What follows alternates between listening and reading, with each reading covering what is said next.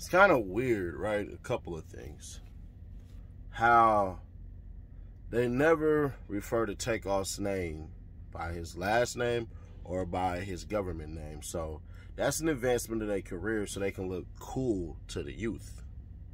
But not only that, they're trying to paint this man as a drunk with a gun who's also broke.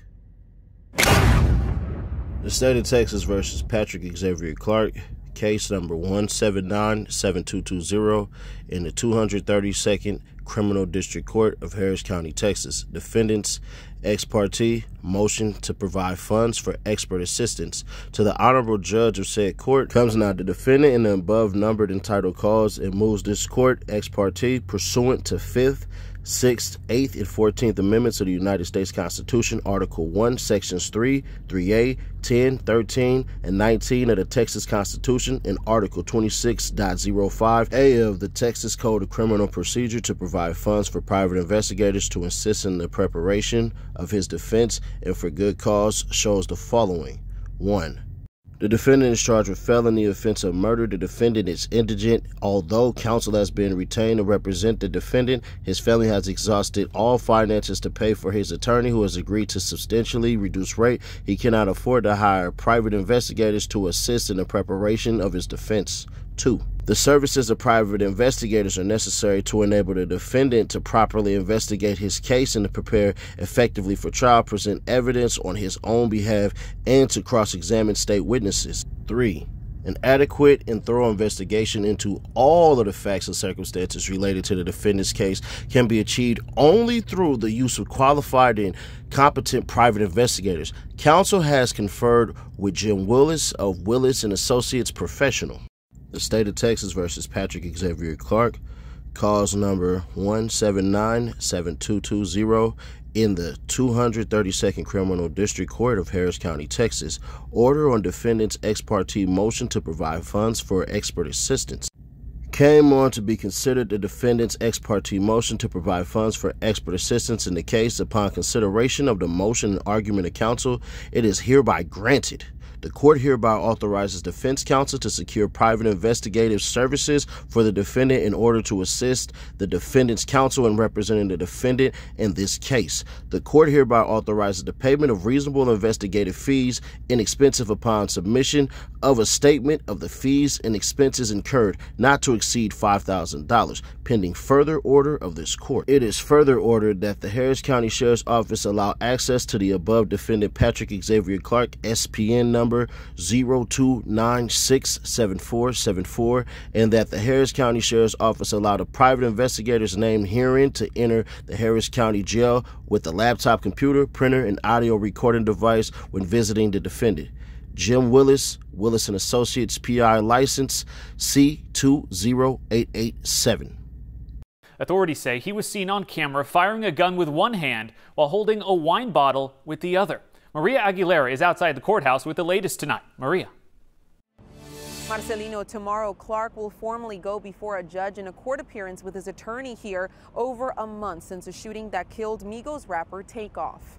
Patrick Clark is the man Houston police have charged with murder a month after the shooting that led to the death of Kirsnick Ball, known as Takeoff, one of the rappers in the group Migos.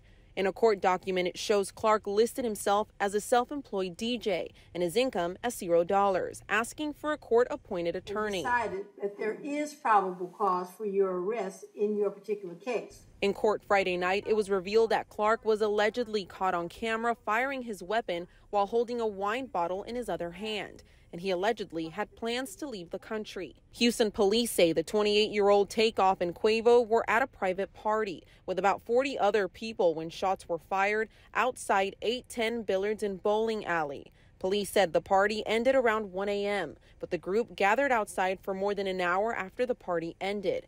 HPD Chief Troy Finner said Takeoff was not the intended target that night. Definitely wrong place at the wrong time. Police say not one person stuck around to give police a statement about what they saw. Chief Finner is asking those who were there when the shooting happened to come forward. We know who was on the scene, and we will be uh, contacting and reaching out and finding those individuals. Uh, this is a murder. Clark's bond has been set at $2 million. If Clark makes bond, he faces a list of conditions, including house arrest. I spoke with his attorney over the phone today, who says he has no comment at this time. I ain't gonna hold you, bro. DJ Pat Smart. DJ Pat just got the state to give $5,000 of their own money to fight his case against Takeoff. They said, private investigators, we're going to give you $5,000 to hire private investigators. So he spent all his money basically on getting a lawyer who already had a game plan. Bruh, do y'all realize all you cats in Texas? Do y'all realize y'all now can do this? You can go to uh, uh, uh, Cameron Patrick, or Patrick Cameron, whatever cuz name is, I forget it right now, versus Harris County and reference this case number to say they granted him a private investigator. You gotta give us one too. Now, I don't know if this happening before, and it probably has, because you wouldn't just pull this out of your head. Bro, this is genius.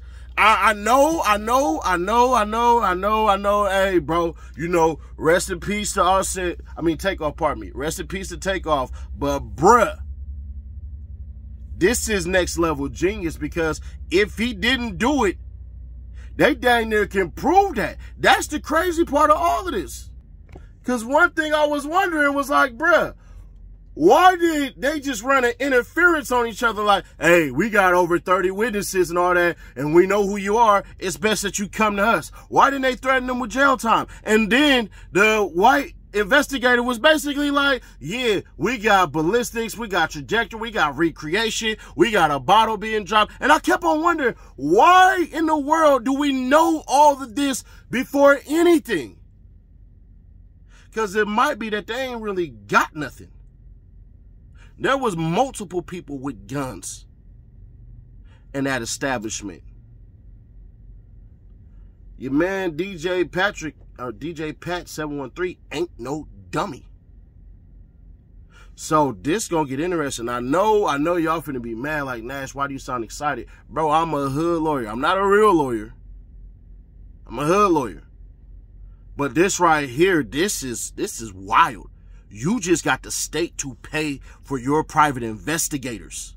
I ain't never heard of nothing like this. But either way that go, one of the things that's going to be hard for him to prove is, bro, I wasn't drunk, even though technically they had to prove that. But bro, you got the bottle in your hand. We probably got videos of you swigging and everything like that. We can look up the alcohol content. We can make we can make an assessment on your weight and everything like that to say if you drank this much, bro, like two glasses is whatever. Typically, what they say, 0.8 is about two to three glasses, depending on weight and height and blah blah blah and BMI and all that. I got all that.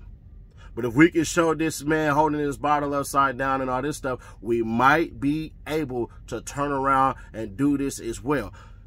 Basically, what I'm getting to is it doesn't look good for the prosecutors. Did they jump the gun?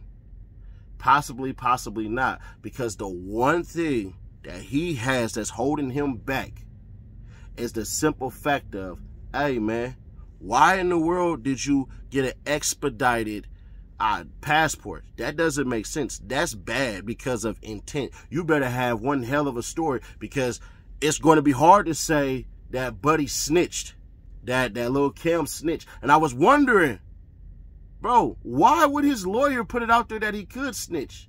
Because by him snitching, he helps out the case for the prosecution because the prosecution seem like they don't really got nothing. Cause I'm wondering, like, bro, what, what the hell? Like, bro, your lawyer jumped on camera, like, yo, Lil Kim ready to write if you got a deal. Ah, it all makes sense. But y'all subscribe, turn on this bell to stay notified. Share to keep your people aware. Let me know your thoughts and theories on this one. I'll be curious to see exactly what y'all think. Maybe y'all think like me. Maybe y'all don't. Maybe y'all got something completely different. But I also want to know, do y'all want me to create a video specifically for Migo bands or no? Subscribe, turn on that bell to stay notified. to the crew that's the truth with the visionaries. I'll catch y'all in the next one. This is wild, ain't it? Y'all expect me to keep it real? Because you know that I will. I do this daily, baby. Check out the Nightly Nash podcast. Also, Street of Music Ceddy Nash if you have not. It's on all streaming platforms. Guaranteed you're going to find something you like. Probably like that overly thugging freestyle or maybe something different. Let me know in the comments. We possibly shoot that music video.